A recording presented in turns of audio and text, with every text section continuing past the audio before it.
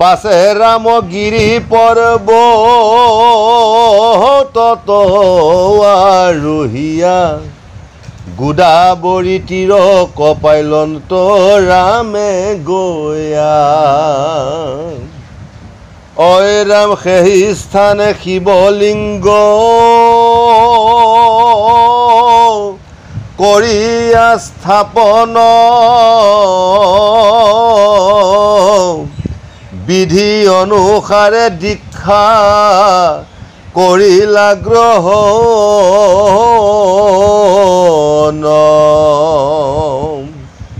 বিভূতিভূষণে সৰ্ব অংগক সাজিয়া ৰুদাক্ষৰ আভৰণ পিন্ধিলন্ত্ৰ গয়া পুণ্যটোয়া গৌতমীৰ আনি পুণ্য জল সাগৰৰ জলে মিশ্ৰ কৰি মহাবল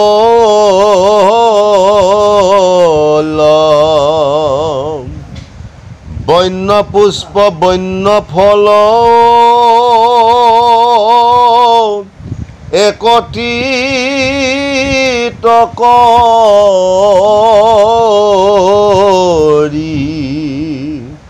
লিংগু পৰে অৰ্চনা ৰিলা জানো পাহাৰী।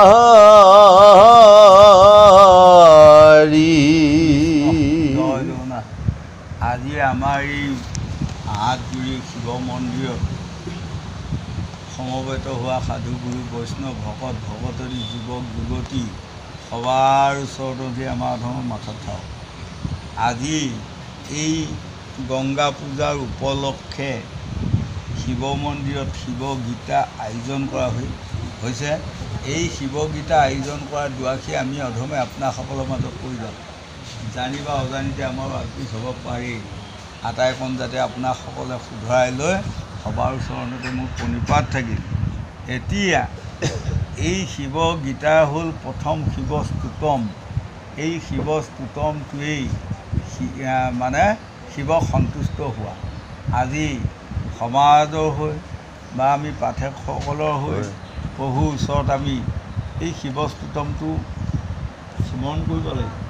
অং বন্দে শিৱং তিন্নয়নং পঞ্চাননং জটাধৰম চন্দ্ৰমৌলিং গংগাধৰম অক্ষয় মালা বিভূষিতম ব্যাঘ্ৰ চম্ম পৰিধানম সদা যুগ ধ্যানৰতম বিশ্ববেদুফুলপাণি প্ৰণামী সদাগ্ৰম মহেশ্বৰং মহাদেৱং মহাপাপ বিবুদ্ধ কমং সৃষ্টি স্থিতি নাশ কৰং সৰ্বভূতান্তৰস্থিতম মহাকাল মহাগুৰু মূৰ্দিশু মৃত্যুঞ্জয় মহানন্দ মাসু দুখং বন্দে ভৈত্যা বিশেষম। ঔং নমস্তে বিশ্বৰূপায় নমস্তে গৌৰীনাথ শ্ৰীফুল ৰজহস্তায় কেদায় নমো নম। ঔং নমস্তে নীলকণ্ঠায় নমস্তে দুশ হাৰিণে নমস্তে বিশ্বনাথ ৰুদ্ৰায় উগ্ৰায় নম। ঔং নমস্তে ভোলানাথ ভূতনাথ নমো নম। জগত পত্ৰী নমো নমস্তে গম কেশায় হৰায় ভৱায় নমো শংকৰায় নমো নম। ঔং নমস্তে সৰ্বৰূপিণী ভীমায় সৰ্বায় নম ঔং শিৱায়ং শান্তায়ং পৰমাত্মনি প্ৰভু একিঙা কুমণ্ডলী পানয় পিনাক পানয় নম সৌতং দৈত্যং গণপতি ভাৰ্যা মহামায়া জয়ছু কাৰ্তিকো নন্দনং জয়ছু তং নমামি লোকেশ্বৰম মায়া মোহ দধি মগ্ন মহাপপ শিলোহম তাহিমাং ত্ৰিনেত্ৰ ধাৰি খবৰ বাবে ভৈত্যা মুখয় নাস্তি মে তু অনুৰাগং নাস্তি মে নিৰ্মল স্তি গীতং নাস্তি মম শ্ৰম শ্ৰমাং পৰমেশ্বৰ এইসকল লোকে এই শিৱ বা আজি গংগা পূজা হৈ আপোনাক কেনেধৰণে ভাবিব লাগিছিল হয়তো এইসকলে আঁতৰি পোৱা নাই আমি নমন আমি আঁতৰি নাপাওঁ। যথা কিঞ্চিত এডোখৰি নৈবেদ্য আগবঢ়াই আপোনাৰ চৰণত শৰণ লৈছে। এইসকলৰ প্ৰতি আপুনি সন্তুষ্ট থাকি এইসকলৰ মনৰ বাঞ্ছা পূৰণ কৰিব লাগে এই প্ৰাৰ্থনা। আজি অগস্তি ঋষিয়ে যেতিয়া ৰামে বনৰ মাজত গৈ সীতাক হেৰুৱালে অৰ্থাৎ ৰাৱণে সীতাক হৰণ কৰি লৈ গুচি গ'ল। সেইবেলা যেতিয়া সাগৰ পাৰ পালে হনুমন্তক ক'লে যে কোনপিনে সীতা আছে মোক অকণমান বুজাই দিয়কচোন। তেতিয়া হনুমন্তই মানে দেখুৱাই দিলে কিমানত সাগৰ সিপাৰ আছে কিমানৰ সীতা আছে তাৰ কোনো আঁতৰি নাই। তেতিয়া ৰামৰ মানে দুখ আহিল অন্তৰত। ইমানখন সাগৰ পাৰ হৈ গৈ মই সীতাদেৱীক যে উদ্ধাৰ কৰিব পাৰিম ই আৰু নহয়। গতিকে মই আজি প্ৰাণত্যাগ কৰিম। তেতিয়া সকলোকে ৰায় কৰি দিলে নৱ লক্ষ উশয়নী বান্দৰ আৰু লক্ষ্মণ সকলোৱে চিতাখালি জুই লগাই দিয়া মই আজি প্ৰাণ বিসৰ্জন দিম আৰু তোমালোকে গৈ অযোধ্যাত ৰাজ্য শাসন কৰিবা। তেতিয়া ৰামৰ বাক্য পালন কৰি সকলোৱে চিতা সাজি জুই লগাই দিল। আৰু ৰামে পৰিবাৰ ওলোৱাৰ লগে লগে জাম্বু মানে ক'লে নহয় প্ৰভু আপুনি নিজৰ দেহটোক শান্তি কৰি লওক শুচি কৰি লওক লৈ আপুনি তাত চান উপায় জুইত জাপ দিয়ক। বোলে কেনেকৈ? কৈছে আপুনি গংগাত স্নান কৰি আহক। যি গংগাৰ জল প্ৰথম প্ৰভু ভগৱন্তৰ পাদুৰূপৰ পৰা গংগা জল আহিল নিজে শিৱই মূৰ পাতি ল'লে। সেই গংগাৰ জলেৰে যদি আপুনি স্নান কৰে তেনেহ'লে আপোনাৰ দেহ মন প্ৰাণ পবিত্ৰ হ'ব আৰু তাৰপাছত আহি আপুনি জুইত পৰাৰ লগে লগে আপুনি গতি লাভ কৰিব। তেতিয়া সাগৰলৈ গৈ গংগাত গৈ তেওঁ স্নান কৰিব বিচৰাৰ লগে লগে এটা বালিমাহী চৰাই এটাই মানে দানা মাৰি আছে। তেতিয়া ৰামে কৈছে হেৰা তুমি কি কৰিছা? তেতিয়া বালিমাহী চৰাইজনীয়ে কৈছে মই সময় কথা হৈ সময় নষ্ট কৰাৰ সময় নাই। মই সাগৰ সিঁচি মই কণী দুটা উলিয়াব লাগিব। কাৰণটো কাৰণ মই বৰ কষ্টৰে কণী দুটা পৰা হ'ল। কালি সাগৰ ঢৌৱে মোৰ কণী দুটা লৈ গৈ মানে সাগৰত ডুব যোৱালে গতিকে অতি সোনকালে সাগৰ সিঁচি মই কণী দুটা বাঢ়ি কৰিব লাগিব। তেতিয়া ৰামে অবাক লাগিলে। বালিমাহী চৰাই কণ কণ দানা দুখনৰ সৈতে সাগৰ সিঁচিব। কিমান দিনত সাগৰ সিঁচি হ'ব তাৰ আঁতৰি নাই। হয়নে? এতিয়া ৰামে দেখুৱালে যদি এজনী বালিমাহী চৰাই যিটো ধৈৰ্য সেইটো মোৰ ধৈৰ্য আজি নাই মই মৰিবৰ কাৰণে ওলাইছোঁ। হয়নে? তেনেহ'লে বালিমাহী চৰাইজনী দেখাও মোৰ গাত ধৈৰ্য নাই। এই বুলি স্নান কৰি জুইত পৰিবা যোৱাৰ আগমুহূৰ্তত অগস্তি ঋষিয়ে মাত দিলে। মাত দি অগস্তি ঋষিয়ে তত্ত্ব জ্ঞানৰ কথা আটাইকণ ৰামক বুজাই ক'লে। কৈ ক'লে তুমি যদি শিৱলিংগত পূজা কৰি ভালভাৱে শিৱক সন্তুষ্ট কৰিব পাৰা তেনেহ'লে ৰাৱণক বধি তুমি সীতাক উদ্ধাৰ কৰিব পাৰিবা আৰু এই গংগাৰ জল শিৱৰ মাথাৰ পৰা বৈ যায় আমাৰ গংগা হৈ আছে। এই গংগাৰ জলকে স্থাপন কৰি শিৱলং লিংগত আপুনি শিৱ পূজা আৰম্ভ কৰক। ৰাম।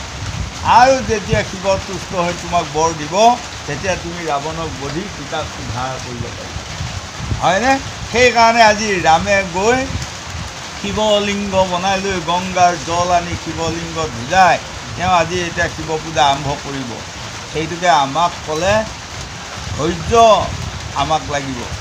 সেইকাৰণে গীতাত আমাক দেখুৱাইছে ধৈৰ্য শৌৰ্য সমাদয়া চাৰিটা বস্তু আমাৰ যাৰ হৃদয়ত থাকে সেইসকলকে কৈছে সেইসকলে সদায় সীতা উদ্ধাৰ কৰিব পৰা ক্ষমতা সদায় পায়ে ফুৰিব। হয়নে? আৰু যাৰ ধৈৰ্যই নাই তেনেহ'লে সেই ৰামৰ নিচিনা মৰিব যাব লাগিব। হয় আমি এতিয়া আজি মন্দিৰ দি ইমান দিন হোৱা নাই বুলি পেলাই যদি ধৈৰ্য ৰাখিবলৈ ৰাখিব নোৱাৰি যদি নদীত যাই পেলাই কলহ বান্ধি মংগৈ হ'বনে? নহয় আমাৰ ধৈৰ্য লাগিব। এই নামঘৰ এই মন্দিৰ এদিন হ'বই হ'বই হ'বই। এই ধৈৰ্যটো আমি এতিয়া ৰাখিব লাগিব। হয়নে? আকৌ আমাৰ ঘৰখনত বোলে অশান্তি হৈ আছে। ৰবা চিন্তা নকৰিবা। দুদিনৰ পাছত অশান্তি দূৰ হৈ শান্তি আহিব আহিব আহিবই। এয়া ধৈৰ্য। হয়নে? গতিকে কাৰো প্ৰতি কোনেও আমি বেয়া ভাৱ নাৰাখি আজি যেনেকৈ এতিয়া ৰামে শিৱ পূজা কৰি মানে ৰাৱণ বধাৰ সুবিধাটো পালে আমাক কৈছে আপোনাসকলেও শিৱ পূজা কৰি ৰাৱণ বাধা বধাৰ ক্ষমতাটো লওক। ৰাৱণ ক'ত আছে আমাৰ? ঔৱা নদী সিপাৰে ক'ৰবাত থেকেৰা সিপাৰে ৰাৱণ নাই। আমাৰ দেহতে যিটো গৌৰৱ অহংকাৰ ভৰপূৰ হৈ আছে সেইটোৱে ৰাৱণ। আমি এই ৰাৱণটো যেতিয়া আমি বধিব পাৰিম অনিবাৰ্য আমি ধুনীয়া সীতাক উদ্ধাৰ কৰিব পাৰিম। ধুনীয়া সীতা মানে কোন? ভকতি। তেতিয়া আমাৰ ভকতি উপাৰ্জন হ'ব। আমাৰ হৃদয়ৰ পৰা অহংকাৰ গৌৰৱটো যেতিয়া নাইকিয়া হ'ব তেতিয়া আপুনি যোৱা ভাই শিৱ শিৱ মন্দিৰ এটা দেখালে ল'লে আপোনাৰ আপোনাৰ আপুনি মূৰটো যোৱা যাব। হয়নে? আৰু যেতিয়ালৈ অহংকাৰ গৌৰৱ থাকিব। বাদ দিয়ক সেইবিলাক মন্দিৰ কি আছে।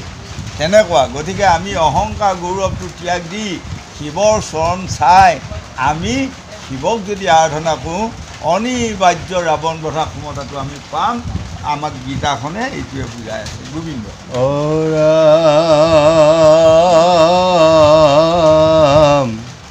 তাত পাছে ব্যাঘ চৰ্ম পৰিধ্যান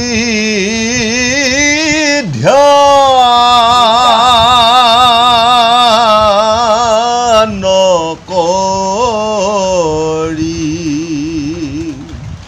অ ভস্মাচন্ন ভস্ম খাই ভৈলা তাৰ কাৰী শয়ন ভোজন এৰি নিপতি নন্দন। অদিবা ৰাতি শিৱ নাম কৰিলা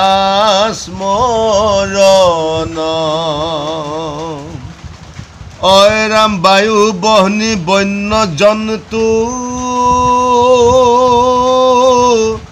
সবাকো উপেক্ষী। নাম সহস্ৰক জপি থাকিলা উপাসী। আমাক শিৱগীতাই কৈছে শিৱৰ সহস্ৰ নাম যিসকলে জপ কৰিব সেইসকলৰ অসাধ্য সাধন হয়। তাৰমানে যি প্ৰাপ্য পাবলগীয়া আপোনাৰ নাই নাপায় আপোনাৰ জীৱনত। কিন্তু তাকো পায়। অসাধ্য সাধন মানে সেনেধৰণৰ আপোনাৰ ভাগ্যত যে কোনোবা এদিন বৰ ডাঙৰ ঘৰ এটা বনাব পৰা ক্ষমতা মানুহ এজন নহয়। তেওঁ ভাবাই নাই মোৰ জীৱনত যে ডাঙৰ ঘৰ এটা বনাম। কিন্তু এই অসাধ্য সাধন তেওঁ তাকো কৰিব পাৰে। তেওঁ জীৱনত গাড়ী মটৰ নাই আৰু তেওঁ ল'ব পৰা ক্ষমতা নাই। কোনোদিনে ভবা নাই যে মোৰ জীৱনত গাড়ী মটৰ এখন হ'ব। কিন্তু এই শিৱৰ এই পূজাটোত বা এই সহস্ৰ নাম জপ কৰি বা যিজনে জানে অসাধ্য সাধন তেওঁ এদিন গাড়ী মটৰ ল'ব পাৰে। এতিয়া তাৰ প্ৰমাণ আপোনালোকে পাইছে নহয়। আমি ঘূৰি পাকি দেখিছোঁ একেবাৰে দুখীয়া দৰিদ্ৰ ল'ৰা একোটাই এতিয়াতো আজিকালি বৰ ডাঙৰ মটৰ গাড়ী লৈ ফুৰা দিছে। নহয় বাৰু কোনোবা এটা সাধাৰণ মানুহ ল'ৰাইও যায় এম এল এ মন্ত্ৰী হৈ আজি ৰাজগাদী দখল কৰি আছে। কিন্তু তেওঁৰ জীৱনত তেওঁ ভবা নাই কোনোদিনে মোৰ ল'ৰাটোৱে যে এসময়ত ৰাজগাদী পাব মোৰ ছোৱালীজনীয়ে যে এদিন ৰাজগাদী পাব তেওঁ কিন্তু ভবাও নাই। নহয় বাৰু এইবোৰ এক হৈছে অসাধ্য সাধন। গতিকে আমি অসাধ্য সাধনটো কৰিবলগীয়া হ'লে এক নম্বৰতে উঠি অহা যুৱক যুৱতী প্ৰজন্মসকলক আমি চিঞৰি দিব লাগিব। তোমালোকে কি বস্তু দুটা ত্যাগ দিব লাগিব? প্ৰথমে জানা অহংকাৰ আৰু গৌৰৱটো ত্যাগ দিয়া। ত্যাগ দি এই যে শিৱৰ অসাধ্য সাধন বা শিৱৰ সহস্ৰ নাম জপ কৰা তেওঁক তুষ্ট কৰিব পৰাৰ লগে লগে পৰাৰ লগে লগে আপুনি অসাধ্য সাধন হ'ব। শিৱই আপোনাক দেখা দি পেলাই ক'ব নালাগে আপোনাক বৰ দিলোঁ যাওক বুলি ক'ব নালাগে। তেওঁ যেতিয়া সন্তুষ্ট হ'ল বৰ আপোনা আপুনি আহিব হয়নে বাৰু? গতিকে আজি ৰামে শোৱা শয়ন আহাৰ বুলি কৈছে। শয়ন মানে শোৱা আহাৰ মানে খোৱা বোৱা দুয়োটা বস্তুকে ত্যাগ দি তেওঁ আজি শিৱৰ সহস্ৰ নাম জপ কৰিছে। এই শিৱৰ স্তুতমটোতেই শিৱৰ এশ আঠটা মুখ্য নাম তাতে সোমাই আছে। আমাৰ কিছুমান মানুহে হয়তো নাই বুজা তাৰে কিছুমানে বুজেই। নহয়নে শিৱ আৰু সহস্ৰ নাম কি কি নাম আছিল বুলি পেলাই আপুনি আঙুলি মূৰত হিচাপ কৰি ফুৰিবলগীয়া নাই। শিৱৰ স্তুতম যিটো তাতে এশ আঠটা নাম সোমাই আছে সেইখন গোৱাৰ লগে লগে তাতে হৈ যাব। নহয়নে বাৰু? আৰু প্ৰভু ভগৱন্তৰ চৌবিছটা অৱতাৰ এটা এটাকৈ স্মৰণ কৰি ফুৰিবলগীয়া নাই। বহুত লোকে নাজানে কিন্তু কীৰ্তনত যে চৌবিছ মানে হেৰি এতিয়া চতুৰ্বিংশতি অৱতাৰ হয়নে? আপুনি চতুৰ্বিংশতি অৱতাৰটো পঢ়া মানে প্ৰভু ভগৱন্তৰ চৌবিছটা অৱতাৰে আপোনাৰ প্ৰতি তুষ্ট হোৱা। নহয় বাৰু আমাক কিছুমান কথা আঁতৰি নোপোৱাৰ কাৰণেও কিছুমান মানুহ পাজল লাগেই। এইবোৰ কথা এতিয়া আমি তৰ্ণ তৰ্ণকৈ বুজিব লাগিব নহয়নে বাৰু? শিৱৰ এশ আঠটা নাম আমি বিচাৰি ফুৰাতকৈ শিৱৰ স্তুতমকণ গাই দিয়াৰ লগে লগে শিৱৰ এশ আঠটা নামেই সন্তুষ্ট হ'ব শিৱই আজি শিৱই আমাক সন্তুষ্ট নহওঁ বুলি ক'ব নোৱাৰিব। নহয়নে বাৰু? এই মই যে আগতে এবাৰ কৈছোঁ আপোনালোকক যে যেনেকৈ পিটিজ এইটো আপোনালোকে অনুসৰণ নকৰিব। দাবী কৰক তুমি এখন গাঁৱৰ সৰু ল'ৰা। তোমাৰ সম্পত্তি এখন গাঁৱৰ সকলোবিলাক তোমাৰ সম্পত্তি। নহয় বা? দাবী। তদুপ আমিও আজি শিৱক হে শিৱ বা অনুৰোধ কৰিছোঁ আপুনি আমুকটো দিয়ক। আমাৰ এইটো নাই। অনুৰোধ কৰিবলগীয়া নাই। আমি দাবী কৰিম। প্ৰভু কাই মন বাইকে আপোনাৰ আপুনি যি ভাল পায় তাকে কৰি আছোঁ। গতিকে আপুনি দিব লাগিব আকৌ। নহয় বাৰু। এই ধৰণৰ। গতিকে আমাৰ যেনেকৈ এটা ল'ৰা এটা বাপেক। যদি বাপেকে ভাল পোৱা কাম কৰি আছে ল'ৰাটোৱে তেনেহ'লে বাপেকক গৈ ক'ৰবাত ক'ৰবাত দাবী কৰিব পাৰিব মই আমুক বস্তু দিয়ক। দাবী কৰিব। আৰু যদি বাপেকে ভাল পোৱা কাম একোৱে কৰা নাই তেনেহ'লে চুচুৰু চামাকৈ যাই যায় কিবা সুধিম নুসুধিম সুধিম নুসুধিমকৈ। তাৰমানে দাবী কৰা সাহসটো নাই। নহয় গতিকে আমি শিৱই ভাল পোৱা কাম কৰিব লাগিব ভগৱন্তে ভাল পোৱা কৰি কৰ্ম কৰিব লাগিব পিতৃ মাতৃয়ে ভাল পোৱা কৰ্ম কৰিব লাগিব তেনেহ'লে আমি আমাৰ প্ৰাপ্য বস্তুত আমি দাবী কৰিব পাৰিম। এই গীতাই আমাক এইকণকে বুজাই আছে। গোবিন্দ।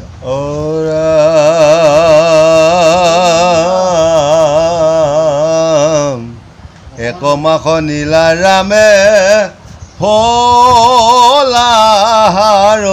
ভখি উম। আৰু এক মাস নীলা পৰ্থাখনে বসি। তৃতীয় মাসত জ্বলা হাৰ বিনে আন। নুভুজনত ৰঘুপতি মাত্ৰ জিত কাম। এতিয়া ৰামে ব্ৰত পালন কৰিছে। প্ৰথম এটা মাহ তেওঁ ফল মূল খাই ব্ৰত পালন কৰিছে। আৰু এই ব্ৰত পালন কৰাটো হ'ল আপোনালোকে মনত নেপেলাবচোন যিকোনো বস্তু এটা তেতিয়া হৈয়ে থাকিব। নহয় আজি আপুনি ৰাতিপুৱাই ভাবক মই ব্ৰত পালন কৰিম। একোৱেই নাখাওঁ তেনেহ'লে দেখিব আপোনাৰ দিনটো ভোকে নালাগে। হয় মই এতিয়া এইয়া এইয়া ক'ভিডৰ কাৰণে দেশৰ শান্তি হেতু আপোনালোকৰ আশীৰ্বাদে যোৱা বছৰ তেতিয়াও মই ব্ৰত পালন কৰিছোঁ আৰু এইবাৰো কৰিছোঁ। মই ৰাতিপুৱাই কৈছোঁ তিনি গিলাচ পানীহে খাম আৰু দিনটোত তিনিবাৰ তাৰ বাহিৰে একোৱেই নহয় ক'ত আৰু? ৰাতি দহটালৈকে ভোকে লগা নাই। নহয়নে বাৰু? যদি আকৌ ভাবে আপুনি ব্ৰত পালন কৰি গাখীৰ জলপান এবাতি খাম। তেনেহ'লে দেখিব দহটা বজাৰ পাছত আপোনাৰ পৰিবাৰক আপুনি ক'ব ক'বা বাধ্য হ'ব দে দিয়ে দে জলপান এবাৰ দিয়া নাই। তাৰমানে ভোক এই জলপান পাতিৰ কাৰণে ভোক লাগিব। মনত পেলোৱাৰ লগত আকৌ যদি আপুনি ভাবে ফল মূল কেইটামান খাব লাগিব তেনেহ'লে আপোনাৰ খাব মন গ'লেই। হয়নে? আৰু ফল মূল খাব মন যদি যায় আপোনাৰ ব্ৰত পালন কৰি ফল মূল খাই ব্ৰত পালন কৰিবলগীয়া হ'লে আমাৰ লোকসকলে কিছু ডেকা গাভৰুৱে আলাহ কৰে। মই কৈছোঁ আলাহ কৰিবলগীয়া নাই। আপুনি জুখি পেলাই আধা কেজি আঙুৰ নহয় আৰু আধা কেজি আপেল যদি খাই লৈ দুগিলাচ পানী খায় সেই মানুহটোক ভাত লাগিব নেকি দিনটো নহয়নে? তদুপ আজি আমাক দেখুৱাইছে ৰামে এটা মাহ ফল মূল খাই ব্ৰত পালন কৰিলে। তাৰপাছত আৰু এটা মাহত তেওঁ পানী খাই খাই মানে ব্ৰত পালন কৰিলে। তাৰ পাছৰ মাহটোত তেওঁ বায়ু প্ৰাণ কৰাত লাগে বায়ু প্ৰাণ তাৰমানে বায়ুটো পানী আহেই তাৰ এটা মন কৰিবচোন ৰাতি যদি খুব আপুনি হাৱা কোনোবাখিনি খাই থাকে তাৰপাছত দেখিব গাটো লাৰি চাওক পানীৰ নিচিনা ঠাণ্ডা হৈ যায়। তাৰমানে কি বায়ুৰ লগতো পানী এটা আহেই। হয়নে? এয়াই হ'ল ব্ৰত পালন কৰাৰ নিয়ম। আমাৰ কিছুমান মানুহ মোৰ ওচৰত কিছুমান দুখ নিবেদনৰ কথা সিদিনাখন দুটা ল'ৰা ছোৱালী গৈছে। তেওঁলোকক ক'লোঁ তিনিটা মই বাৰ মই বাছি অংকত কি কোনটো বাৰ পঢ়ি উলিয়াই দিম তোমালোকে তিনিটা বাৰ ব্ৰত পালন কৰিব লাগিব। তেতিয়া সিহঁত দুইটাই কৈছে ব্ৰত পালন কৰা যে অভ্যাসে নাই আমি ককা নোৱাৰিম নোৱাৰিম মই বোলো প্ৰথম প্ৰথমতেই তুমি তোমালোকে যুদ্ধত হাৰিলাই নোৱাৰিম বুলি পেলাই আহিলেই ভাব। পাৰিম বুলি পেলাই সাহস পোৱা নাই নহয়নে? পাৰিবই। এজন মানুহে যে কয় আজিৰ দিনটো মই ভাত নাখাওঁ তেওঁ তেওঁৰ ওচৰত ভোক যাব নোৱাৰে। আৰু আকৌ এটা মন কৰিবচোন কোনোবা মানুহে এটা অভিজ্ঞতাৰ কথা কৈছোঁ আপুনি খুব মানে কাম কৰি থাকক বেলি দুপৰীয়া হৈ যাওক। কামৰ যেতিয়া ইণ্টাৰেষ্টত লাগি থাকিব ভোক নাহে। যেতিয়া কিন্তু ৰৈ পেলাই ক'ব "উম, ভাত খোৱা সময় হ'ল বুলি পেলাই যদি ভাবেই এই তেতিয়া ভোক আহিলে। হয়নে? এইবোৰ হ'ল ভাৱনা। আজি আমাক ৰামে দেখুৱাইছে কি ধৰণৰ মানে ব্ৰত পালন কৰিছে। তেওঁ ফল মূল খাই এক মাহ কটালে পানী খাই এক মাহ কটালে। হয় আকৌ এতিয়া বায়ু পান কৰি এক মাহ কাটাইছিল আৰু তাৰ পাছৰ মাহটোত কি কাটাই কাটাব এতিয়া? গতিকে তেওঁ অনিবাৰ্য শিৱক আজি লাভ কৰিম বুলিয়ে লৈছে। লাভ কৰিবই লাগিব। হয়নে?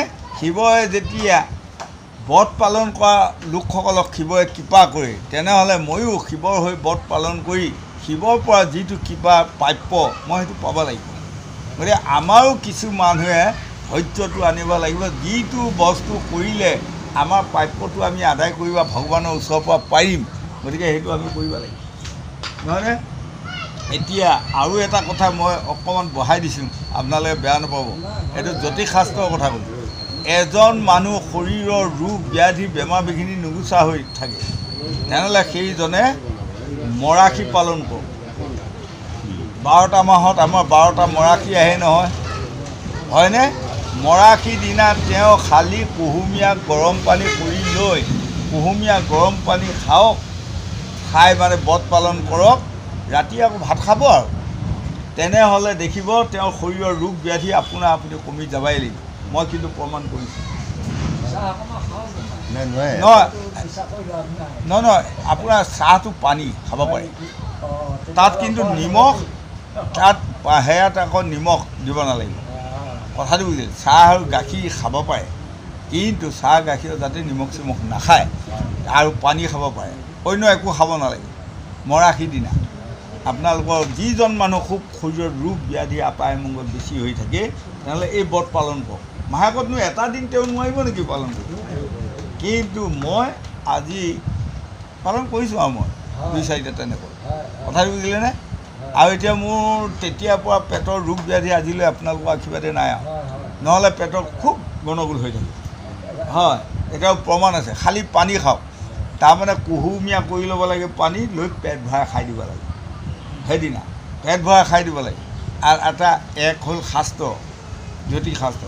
দুই নম্বৰত বিজ্ঞানৰ সন্মত যেনেকৈ আপুনি এই একেৰাহে খাই থাকোঁতে থাকোঁতে আহাৰটো জাম হৈ আছে যেতিয়া সেই দিনটোত আপুনি কোনো আহাৰ নাখায় কেৱল পানীহে খাব তেতিয়া আপোনাৰ গোটেই দেহটো বা নাড়ীবোৰ পৰিষ্কাৰ হয়।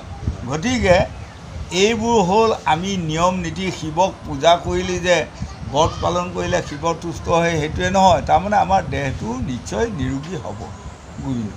চতুৰ্থ মাহত যেবে ভৈলাই উপনীত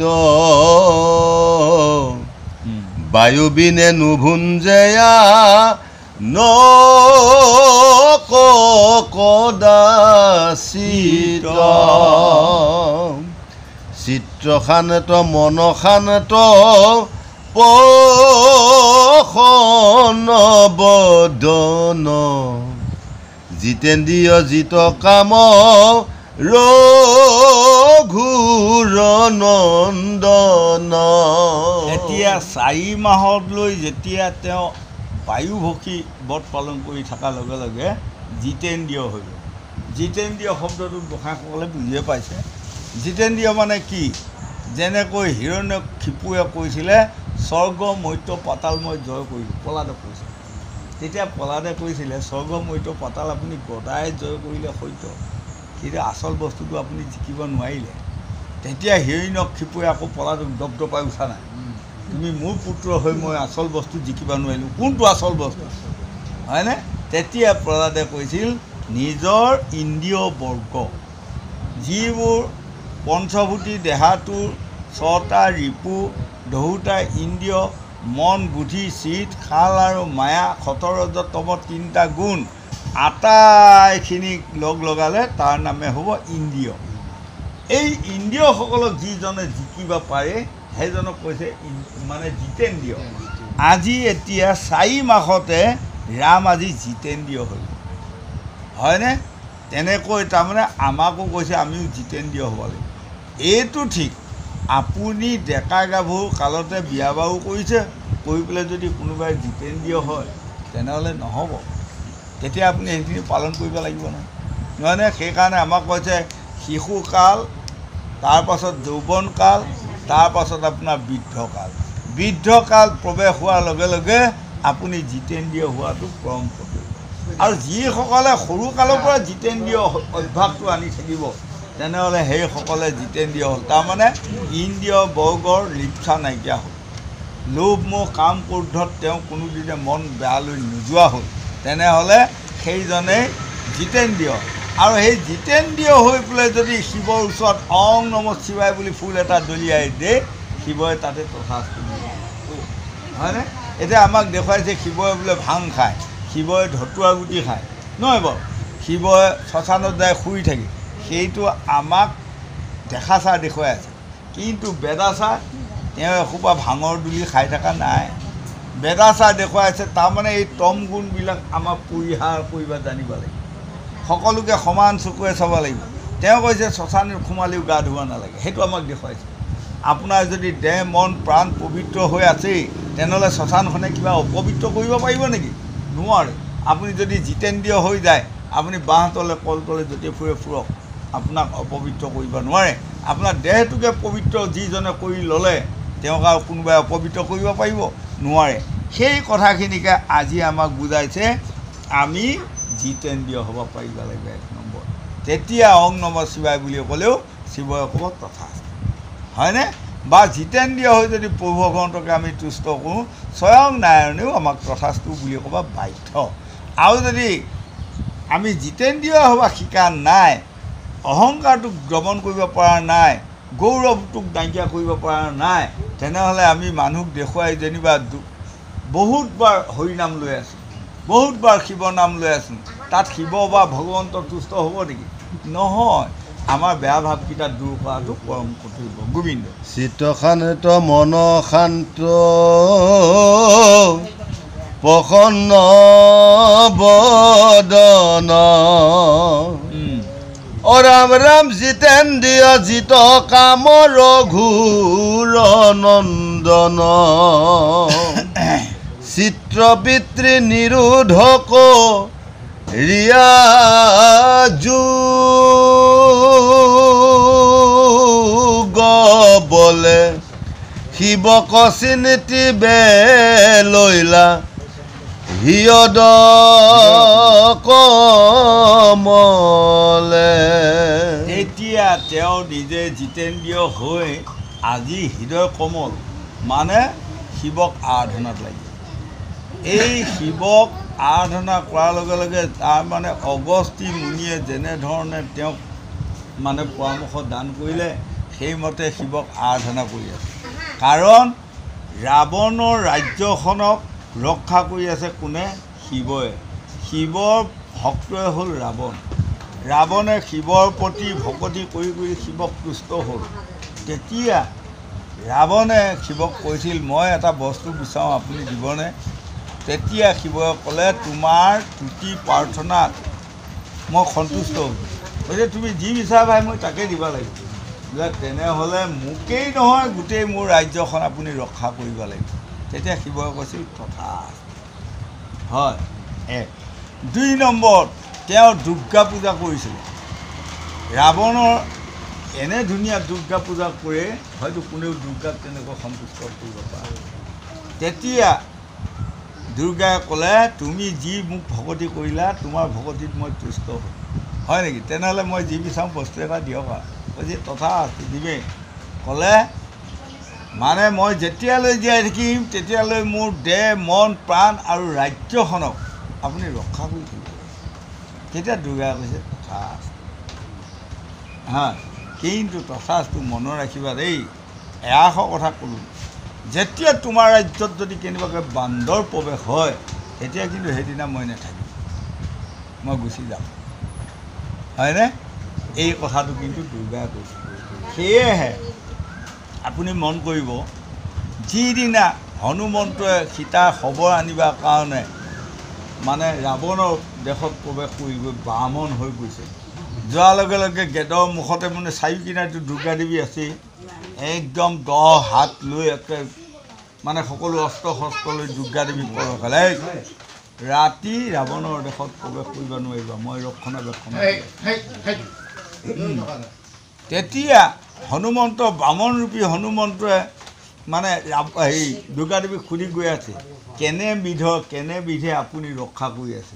ৰাৱণনো আপোনাৰ কি লাগে? তেতিয়া এই কাহিনীটো দুৰ্গাদেৱীয়ে কৈ গৈ আছে। মোক পূজাত সন্তুষ্ট কৰিল কৰাৰ কাৰণে মই ক'লোঁ তোমাক যি লাগে মই তাকে দিম। তেতিয়া ৰাৱণে ক'লে মোৰ ৰাজ্যখন আপুনি ৰক্ষণাবেক্ষণা দিব লাগিব। গতিকে এতিয়া ৰাৱণৰ ৰাজ্যত মই কাকো বেয়া বস্তু ৰাতি সোমাব নিদিওঁ মই ৰক্ষণাবেক্ষণা দিম। আৰু এটা কথা মই তেতিয়াই মানে কৈ থৈছোঁ যদি কেনেবাকৈ বান্দৰ প্ৰৱেশ কৰে তেনেহ'লে আৰু মই ৰক্ষা নকৰিম মই গুচি যাম বুলি ক'লে। তেতিয়া হনুমন্ত বামুণে ক'লে হয় নেকি মাতা? বোলে হয়। হয় নেকি? চাই থাওক তেতিয়া লাহেকৈ তেওঁ বান্দৰ হ'ল কৈছে তুমি কোন? মায়া কৰি আছা কৈছে মই হনুমান কেঁচুৰী ৰজাৰ পুত্ৰ। তুমি আৰু কোৱা কাৰ পুত্ৰ? কৈছে মই শিৱৰ পুত্ৰ। তুমি আৰু কোৱা কৈছে মই বায়ুৰ পুত্ৰ। তুমি আৰু কোৱা কৈছে মই অঞ্জনাৰ পুত্ৰ। হয়নে? তাৰমানে শিৱৰ পুত্ৰও হয় পাৰ্বতীৰ পুত্ৰও হয়। গতিকে মই শিৱৰ পুত্ৰ আৰু তুমি যদি শিৱৰ পত্নী পাৰ্বতী তেনেহ'লে তুমি মোৰ মাতা। সকলো পিনে যেতিয়া হনুমন্তই পৰিচয় দিলে সেইদিনাই দুৰ্গাদেৱী ৰাৱণক মানে এৰা দিলে হয়নে? এতিয়া সেইকাৰণে আমাৰ কোনোবাই যদি প্ৰশ্ন কৰে শিৱ কাৰ পুতে? কোনোবা এজনে কৈছে ঐ কৃষ্ণ হনুমন্ত কাৰ পুতে? কোনোবা এজনে যদি কয় বায়ু পুত্ৰ সেইটোও সত্য। কোনোবা এজনে কয় শিৱৰ পুত্ৰ সিও সত্য। কোনোবাই যদি এজনে কৈছে আকৌ কেঁচুৰী ৰজাৰ পুত্ৰ সিও সত্য। কোনোবা এজনে যদি কৈছে বোলে নহয় নহয় অঞ্জনাহে পুত্ৰ সিওতো সত্য। কিন্তু যদি শিৱৰ পুত্ৰ হয় অঞ্জনা ৰজ মানে পুত্ৰ হয় কেঁচুৰী ৰজাৰ পুত্ৰ হয় বায়ুৰ পুত্ৰ হয় তেওঁ বান্দৰ কেনেকৈ হ'ল? কথা আকৌ আহিল নহয়। নহয় বাৰু। হনুমন্তটো এটা বান্দৰ এ কাৰণ শিৱওতো বান্দৰ নহয় বায়ুৰ এটাও বান্দৰ নহয়। তেনেকুৱা। গতিকে এতিয়া আকৌ আমাৰ বাৰমুনিৰ মাজত এই কথাকণ উল্লেখ হ'লে। হোৱাৰ লগে লগে বাৰমুনি আদি সকলো ঋষিসকলে তেতিয়া ক'লে যেনেকৈ শিৱ ক'ৰ পৰা হ'ল জানা তাৰ মানে শিৱই এদিন তেওঁ ধ্যানত মগ্ন হৈ আছে হয় মানে কি যে বনৰ মাজত এইখন অঁ ধৰ্ম ধৰ্মক্ষেত্ৰ বন ধৰ্মক্ষেত্ৰ বনত তেওঁ অকণমান যোগধ্যান কৰি ঈশ্বৰ আৰাধনা কৰি আছে। তাৰপাছত চকু মেলি চোৱাৰ লগে লগে সেইপিনে দেখি দুটা বান্দৰে মানে ক্ৰীড়া কৰি আছে।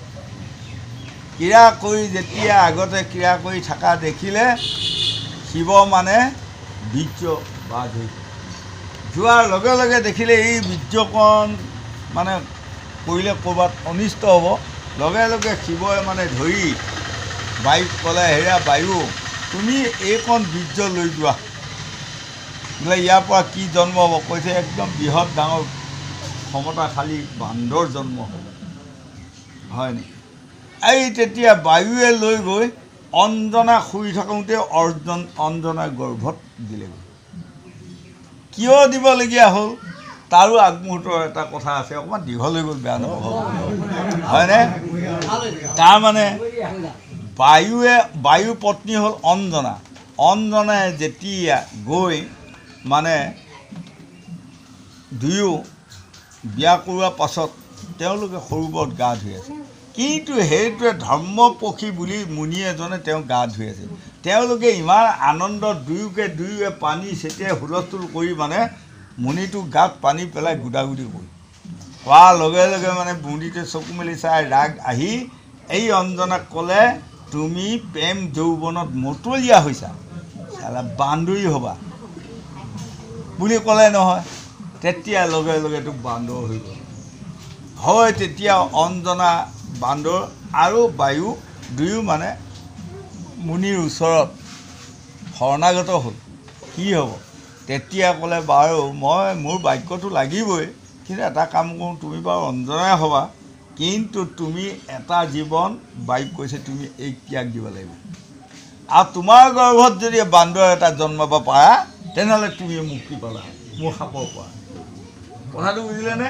গতিকে সেই জন্মটোত তেতিয়া মৃত্যু হ'ল। মৃত্যু হৈ তেওঁ আকৌ জন্ম হওঁতে তেওঁক কেঁচুৰী ৰজাই বিয়া কৰিলে সেই জন্মটোত নাপায় বায়ু ৰজাই তাৰমানে কেৱল অঞ্জনাৰ বেজাৰতে ঘূৰিয়ে থাকে। মাজে পাতে যায় অঞ্জনাক পৰামৰ্শ দি তুমি এইটো জন্ম তুমি ৰজাৰ পত্নী হৈ থাকা।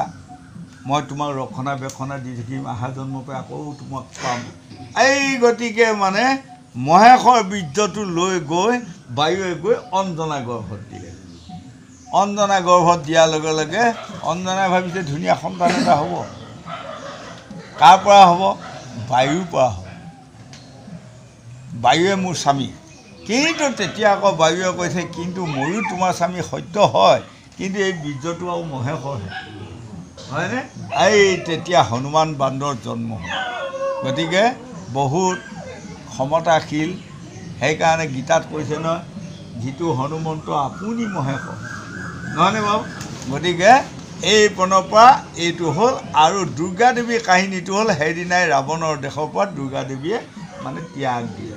হয় সেইকাৰণে আমাক কৈছে আমি সত্য শৌচ ক্ষমা দয়া এই চাৰিটা বস্তু যেতিয়ালৈ আপোনাৰ দেহটোত পূৰ্ণাংগ হৈ থাকিব তেতিয়ালৈ আপোনাৰ দেশত বেয়া বস্তুৱে প্ৰৱেশ কৰিব নাই কোনখন দেশ এইখন দেশ যেতিয়া এজন মানুহ সত্য শৌচ ক্ষমা দয়া চাৰিটা বস্তু কোনোবাটো হীন হ'ব তেতিয়া তাৰ ওচৰত মানে ভূতো যাব পাৰিব পিসাচেও যাই চলনা কৰিব পাৰিব। হয়নে বাৰু? দেৱতায়ো ধৰিব পাৰিবগৈ। হয়।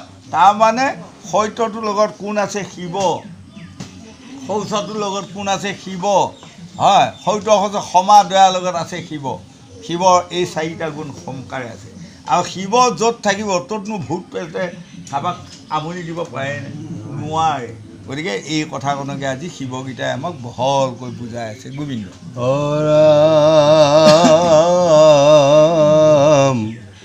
সুৰেশ্বৰী গংগাক্ষীৰে বহে যিটো নীতি। মহাজতাধাৰী দেৱ দেৱ পশুপতি।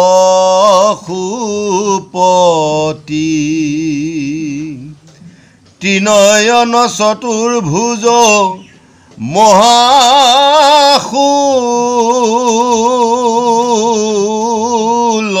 মহাশূলধাৰী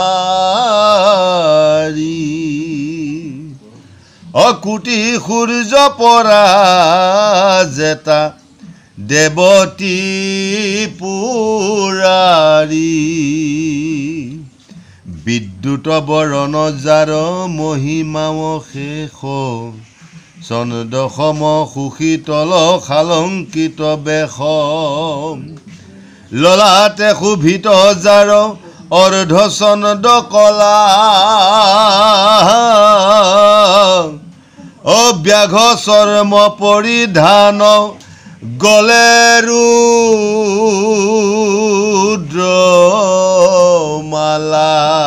এতিয়া আমাক কৈছে সুৰেশ্বৰী গংগা ক্ষীৰত। কাৰ ক্ষীৰত আছিল? শিৱৰ ক্ষীৰত। কেনেকৈ আহিল? যেতিয়া বলিয়ে এশ বছৰ যজ্ঞ পাতি এশ বছৰ দান দক্ষিণা কৰি আছে। তাৰমানে স্বৰ্গ মৈত্ৰ পাতাল আটাইখিনিত বলি হ'ল নহয়। গতিকে এইবোৰ সম্পত্তি মই কি কৰিম? দানকে কৰিম। এশ বছৰ নৰ্মদা তীৰত মানে হেৰি যাগ- যজ্ঞ কৰি দান দক্ষিণা কৰি আছে। এক গ'ল আৰু দুই নম্বৰত তেতিয়া বটু বামুণ আহি গ'ল। বটু বামুণ দ্বিতীয় অদিতি। অদিতিৰ গৰ্ভত দিতি জন্ম ল'ল। লোৱাৰ লগে লগে অদিতিক ক'লে কি আশাৰে সৈতে তুমি মোক জন্ম দিয়ালা? তেতিয়া ক'লে মোৰ ইন্দ্ৰ আদি তেত্ৰিছ কোটি দেৱতা মোৰ পুত্ৰ। সেইসকলে বলি অত্যাচাৰত পৃথিৱীত মানে ভিক্ষা মাগি ভাত খাই আছিল। গতিকে বাচা তুমি মোকলাই দিব পাৰিবা লাগিব।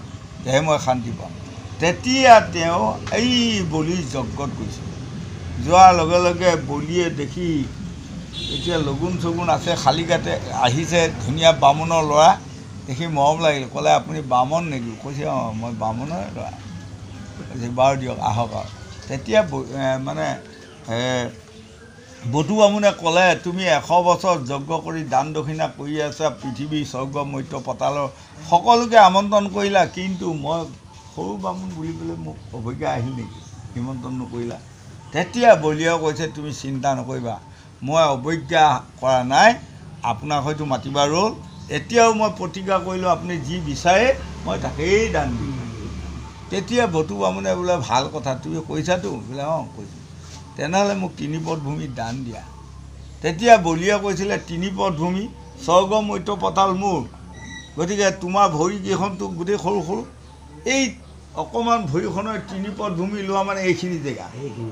এইকণ জেগা মই দিয়াও মহ বহুত মানুহে মোক লাজ দিব। দিয়াও লাজ শুনাও লাজ লোৱাও লাজ। গতিকে তুমি এখন ৰাজ্য বিচাৰা মই ৰাজ্য দিম। কৈছে নালাগে নালাগে নালাগে। তিনি পথহে ভূমি লাগে। তাৰপিছত দিয়া য'তে দিয়া ত'তে লোৱা। লগে লগে এখোজ দিয়াৰ লগে লগে দেখি যে সাত পাতা লৈ লৈ কেৱল মানে ভৰি হৈ গ'ল। বধু বামুণৰ ভৰি অবাক লাগি। আইদিনা বলিয়ে মানে চাই লৈ বলিৰ চকু পানী আহিছে। জানিলোঁ মই আজিয়ে দিন ভিকাৰী হ'ম। এপদ ভূমিতে যেতিয়া সকলো গ'ল আৰু দুপদ ক'ৰ পৰা দিম এতিয়া? নহয় বাৰু আই তেতিয়া বলিয়ে জানি গ'ল এওঁ ভগৱান। আই তেতিয়া কান্দিছিলে এই নিৰুপায়। উপায় পৰম ধন দিয়া প্ৰভু নাৰায়ণ। মই বুজিলোঁ আপুনি নাই আৰু এতিয়া মই নিৰুপায় হ'ম। এপদ ভূমিতে যেতিয়া মানে পাতালৰ পৰা সাত পাতাললৈ মৈত্ৰখন শেষ হৈ গ'ল আৰু এপদ ক'ত দিম। কোৱা বুলি আৰু এপদ ক'ত দিম কৈছে স্বৰ্গখন মোৰ তাত দিয়া এপদ সেই পদ দিয়াৰ লগে লগে সেই পদৰ বৃদ্ধ আঙুলি নখৰে সৈতে ব্ৰহ্মৰ ডিম্বত লাগিল লগাৰ লগে লগে ফাটি তাৰ পৰা জল ওলায়। হয়নে? অহাৰ লগে লগে ব্ৰহ্মাই কুমণ্ডলটো পাতি দি সেই জলকণ ভৰাই থৈ দিলে। বা ই গংগাৰ জল। থাকি গ'ল নহয়। থকাৰ পাছত যেতিয়া বহুত দিন যোৱাৰ পাছত কি পাক মানে পাকত পৰি গ'ল সগৰ ৰজাৰ ষাঠি হাজাৰ পুত্ৰ। যেতিয়া ষাঠি হাজাৰ মুনিয়ে ইন্দ্ৰই ঘোঁৰাটো চুৰ কৰি লৈ গুচি গ'ল সগৰ ৰজাই মানে ষাঠি হাজাৰ পুতেকক দায়িত্ব দিলে যে তুমি তোমালোকে ঘোঁৰাটো উদ্ধাৰ কৰি আনা। যেতিয়া ষাঠি হাজাৰ পুত্ৰ ওলাই গ'ল অস্ত্ৰ শস্ত্ৰ লৈ ইন্দ্ৰ ভয় পাই কপিল মুনিয়ে ধ্যান কৰি থকা আশ্ৰমতে ঘোঁৰাটো বান্ধি থৈ স্বৰ্গলৈ গুচি গ'ল। তেতিয়া ষাঠি হাজাৰ মুনিয়ে যায় দেখি যে আ তাৰমানে ঘোঁৰাটো কোনে বান্ধি থ'ল? নহয় কপিল মুনিয়ে ধ্যানত আছে। গতিকে যাই পেলাই মানে সগৰ ৰজা ষাঠি হাজাৰ ল'ৰাই কৈছে তুমি তাৰমানে এতিয়া পলাই সাৰিব নোৱাৰি পেলাই ধ্যান কৰা দেখুৱাই আছা। তুমি আমাৰ যজ্ঞ ঘোঁৰাক চুৰ কৰি আনি নহয়নে? এই বুলি যেতিয়া কপিল মুনিক অনেক নিন্দা বাসনা কৰিলে তেতিয়া কপিল মুনিয়ে ক্ৰোধান্বিত হৈ চোৱাৰ লগে লগে ষাঠি হাজাৰ সগৰ মুনি শিলা হৈ গ'ল। শিলা হৈ গ'ল। বহুত দিন গ'ল। যোৱাৰ পাছত এদিন দেৱঋষি নাৰদে প্ৰভু ভগৱন্ত বিষ্ণুক কৈছে যে সগৰ যে ষাঠি হাজাৰ ল'ৰা যে শিলা হৈ ৰ'ল ইহঁতেতো নৰকগামী হৈ আছে। ইহঁতে কেনেকৈ মুক্তি পাব? ক'লে কোনোবাই যদি গংগা জল আনি যদি এই শিলাসোপা ধুৱাই দিব পাৰে তেনেহ'লে তেওঁ মুক্তি পায় সেইসকলে স্বৰ্গত যাব পাৰিব এই কথাটো দেৱঋষি নাৰদে আহি আপোনাৰ সগৰ ৰজাক ক'লে তেতিয়া সগৰ ৰজাই যত্ন কৰিলে যাওঁতে যাওঁতে যাওঁতে যাওঁতে তিনিটা জন্ম গুচি গ'ল। তিনি পুৰুষ। সগৰ পুতেক গ'ল তাৰ পুতেক দিলীপ গ'ল নোৱাৰিলে। তাৰ পুত্ৰ ভগীৰথে গংগা দেৱীক চুমন কৰোঁতে কৰোঁতে গংগা দেৱী সন্তুষ্ট হৈ এতিয়া আহি গংগাই ক'লে তোমাৰ তুতিত বা প্ৰাৰ্থনাত মই তুষ্ট হৈছোঁ। এতিয়া মই যাম সত্য। কিন্তু মই মত্যত পোৱাৰ লগে লগে মোৰ ইমান ক্ষমতা শক্তি লগে লগে মই সাত পাতালত যাম। কোনে শিৰ পাতি ধৰিব মাথা পাতি ধৰিব লাগিব কোনোবাই? তেহে মই ৰম। তেতিয়া ক'লে কোনে ধৰিব? কৈছে মোৰ ধাৰটো ৰক্ষা কৰিব পৰা এজনেই লোক আছে সেইজনৰ নামে হ'ল শিৱ। শিৱই যদি মাথা পাতি ধৰেই তেতিয়া ৰক্ষা হ'ব। তেতিয়া মই বাৰু শিপেনে নাযাওঁ নকওঁ। বহুত দীঘল হৈ যায়।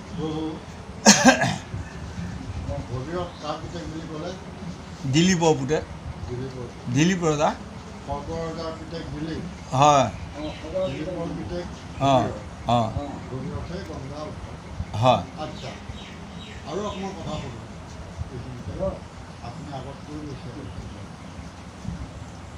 যে শিৱৰ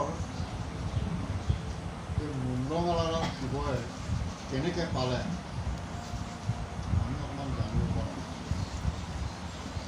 এতিয়া শিৱ মুণ্ডমালাডাল পোৱাটো হ'ল এক নম্বৰতে আপুনি যদি চাই পুৰাণৰ মতে শিৱ পুৰাণত তেনেহ'লে শিৱৰ মুণ্ড মালাডাল মানে হেৰিৰ পৰা কালিৰ পৰাহে পাইছে। কালিয়ে যেতিয়া কালি ৰূপ ধাৰণ কৰি এপিনৰ পৰা মানে নৰ কাটি ছিঙি মুণ্ডবিলাক চিলাই লৈ গৈ আছেই। কালি সেই মুণ্ডডাল। কালি ৰূপটো যেতিয়া থামাবৰ কাৰণে মানে শিৱই গৈ হয়নে? কালি যোৱা আগপিনে যাই পেলাই শিৱ দীঘল খাই পৰি থাকিল নহয়। সতী যাই স্বামীয়ে সতী ৰূপ তেতিয়া কালি ৰূপ ধৰিছিল। সত্যযুগৰ কাহিনী। তেতিয়া সতী যাই স্বামীৰ বুকত ভৰি দিলা তলে চাই সতীয়াই বিস্ময় মানিলা। মহাদুখে সতীয়াই নিজৰ ৰূপ লৈলা দক্ষৰ যজ্ঞক বুলি চলিব লাগিলা। সেয়াই হ'ল গতিকে সেই যে তেওঁ ভৰিত যে কালিয়ে খোজ দিলে লগে লগে এই চিহ্নটো তেওঁৰ বুকত উঠি গ'ল। শিৱৰ সেইটোকে আমাক দেখুৱাইছে শিৱই মানে মুণ্ডমালা এটা লৈ বস্তুটো সেইটো আৰু এক দুই নম্বৰত আকৌ মই গোসাঁই কৈছোঁ দেই এতিয়া যে সগৰ পুতেক তিনি পুৰুষৰ পাছত ভগীৰথ দিলীপৰ পুতেক আছিল নে দিলীপৰ পুতেক খমিক তাৰ পুতেকহে আছিল না দিলীপৰ বাবে খমিক আছিল মোৰ এইখিনিত অকণমান বহুত দিন হৈছে অকণমান পঢ়া শুনা হৈছে হয়তো সেয়া স অকণমান ইফাল সিফাল হ'ব পাৰে। নহয়নে বাৰু? আৰু মই ল'ৰালি কালৰ পৰা এইবোৰ বহুত পুথি পঢ়া আৰু বহুত বছৰ হৈছে নপঢ়া। এই কেতিয়াবা হয়তো কোনোবাটো অকণমান ওলট পালট আহিব পাৰে। তাৰ কাৰণে মই মানে এতিয়াই মানে সকলোৰ পৰা ক্ষমা বিচাৰি থৈছোঁ। নহয়নে? হয়। গতিকে সেইডালে হ'ল শিৱৰ মুণ্ডমালা। কিন্তু শিৱৰ মুণ্ডমালাডাল শিৱই বুলি পেলাই পিন্ধি দিয়া নাই। যেতিয়া কালিয়ে তেওঁৰ বুকত ভৰি দিয়াৰ লগে লগে চোৱাৰ লগে লগে তেওঁ নিজৰ ৰূপ ল'লে এই মালাডাল তেওঁৰ ওচৰত গোটেই ছাঁটো পৰিলে। হয়নে? সেইডালে হ'ল মুণ্ডমালা এক। দুই নম্বৰত এতিয়া যেতিয়া এই গংগা দেৱী তাৰপাছত শিৱক তুষ্ট কৰিলে ভগীৰথে আকৌ কেনেকৈ সেইখিনি সেইপিনে মই যোৱা নাই। তেতিয়া শিৱই নিজে মূৰ পাতি ধৰিলে। সেইকাৰণে আমাক কৈছে ললাটোৰৰ মাজে ফুটা মুণ্ড শুবে পঞ্চগোটা গংগা শুবে মাথাৰ ওপৰত। গতিকে শিৱৰ মাথাত গংগা দেৱী আছে। এই শিৱৰ মাথাত পৰিহে সাত পিনে সাতধাৰ হৈ যাওঁতেহে সৰস্বতী গোদাবৰী নৰ্মদা বা ইত্যাদি আৰু ভাগে ভাগে গংগা সাত ভাগ হৈ গুচি গ'ল। হয়নে?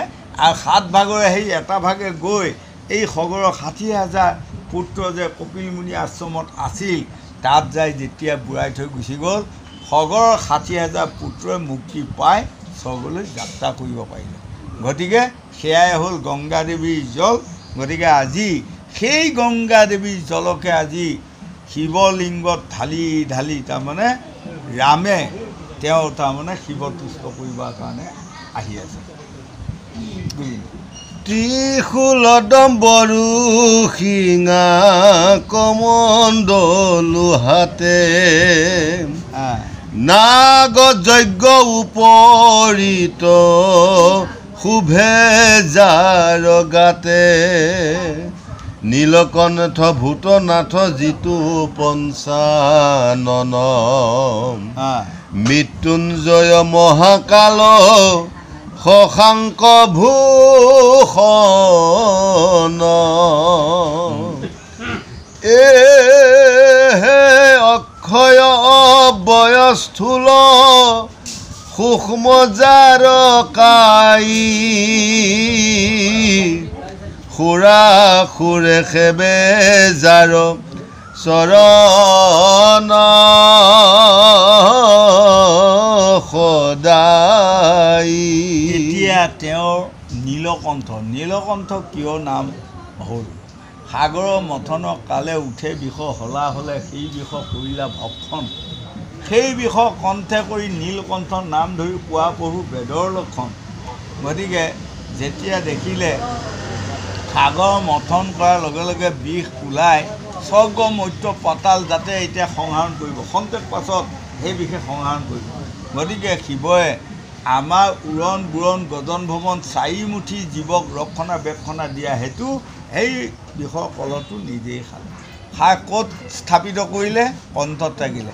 সেইকাৰণে এতিয়া আমাৰ লোকসকলৰ এইখিনি জেগাত এইটো অকণমান উঠোঙা আছে ঘৰত আছে। সেইদিনা এইটোৱে হ'ল শিৱ কণ্ঠ হয়নে? গতিকে তেওঁৰ নাম এটা নীলকণ্ঠ। আৰু তেওঁ এটা আমাক দেখুৱালে তেওঁ শ্মশানত ফুৰে বাঘৰ ছাল এখন আমাক দেখুৱায়। গতিকে তেওঁৰ নাম বাঘচৰ্ম পৰিধান কৰা ৰুদ্ৰৰ মালা এই শিৱই যিডাল নৰমুণ্ড মালা লৈছিল তাৰ পৰিৱৰ্তে এডাল ৰুদ্ৰমালা লৈছিল। এইকেইডালে হ'ল শিৱৰ গাত যেতিয়া ছাঁ পোৱাৰ লগে লগে যেনেকৈ আমাৰ এতিয়া কিবা এটা কৰি পেলাই ফটো তুলে তেনেকৈ যাতে বহি গ'ল। সেইটোৱে আমাক দেখুৱাইছে। এটা আৰু এটা তেওঁৰ নাম পঞ্চানন। তাৰমানে তেওঁ পঞ্চ পাঁচখন মুখ আছিল কিন্তু এই পাঁচখন মুখৰ কাৰণে তেওঁৰ এটা নাম হ'ল পঞ্চানন। হয়নে?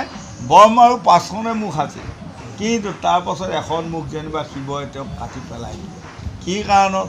যেতিয়া সৰস্বতীক জন্মোৱাৰ পাছত তেওঁ সৰস্বতীক হৰণ কৰিছিল তাৰ পাছত তেওঁ এখন মুখে বেয়াখিনি বকি ফুৰা হৈছিল বকি ফুৰাৰ পাছত যায় শিৱই যাই পাই কথা খবনা হ'ল শিৱই নিজে এইখন মুণ্ড মানে কাটি পেলালে।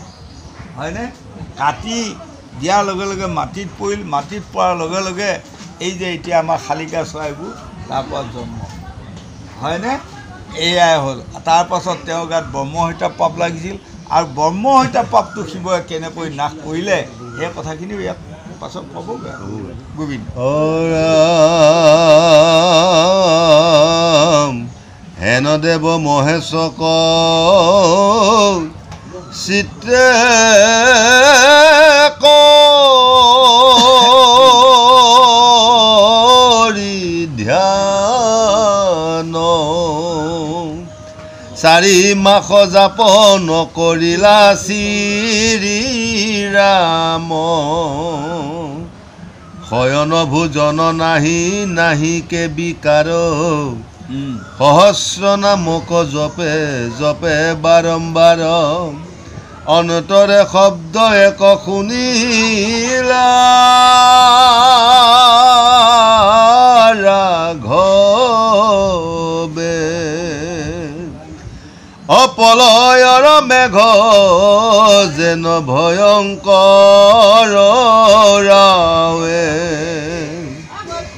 সুৰাসুৰ সবে মহা হুলস্থুল কৰি সমুদ্ৰ মন্থয় যেন মন্দৰ ধৰি। নতুমহা ৰুদ্ৰ বা নাগ্নিচ্যুত লাগি ত্ৰিপুৰৰ পুৰি খব পৰে ভাগি ভাগি। এতিয়া চাৰি মাহ হ'ল। এই চাৰি মাহ ৰামে শয়ন কৰা। তাৰমানে আৰু দুটা মাহত ভোজন কৰা নাই। কি কাৰণত? তেওঁ এটা অন্তৰত দুখ বা উত্তপ্তা আহিল যদি মই এজন ৰাম। মই দশৰথৰ পুত্ৰ পিতৃ বাক্য পালন কৰিব আহি চৈধ্য বছৰ পিতৃ বাক্য পালন কৰিব যাওঁতেই মোৰ পত্নীক হৰণ আৰু যদি মই হৰণ নকৰা উদ্ধাৰ নকৰাকৈ যদি মই ৰাজ্যত যোৱা মানে মোক এজন কাপুৰুষ বুলি ক'ব নক'ব জানো? গতিকে কাপুৰুষ হোৱাতকৈ শৰণ ভোজনটো ত্যাগ দি যদি মৰি যাওঁ তেতিয়াও মোক কোনেও দুখিব নোৱাৰিব।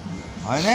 সেইবুলি আজি তেওঁ শিৱৰ সহস্ৰ নাম জপ কৰি সকলো এৰি শিৱক তুষ্ট কৰিবৰ কাৰণে আৰু ইতিমধ্যেই যেতিয়া ঋষিয়ে কৈ গ'ল শিৱক যিদিনা সন্তুষ্ট কৰিব পাৰিবা সেইদিনাই তুমি জানিবা ৰাৱণক পৰাজয় কৰিব পাৰিবা।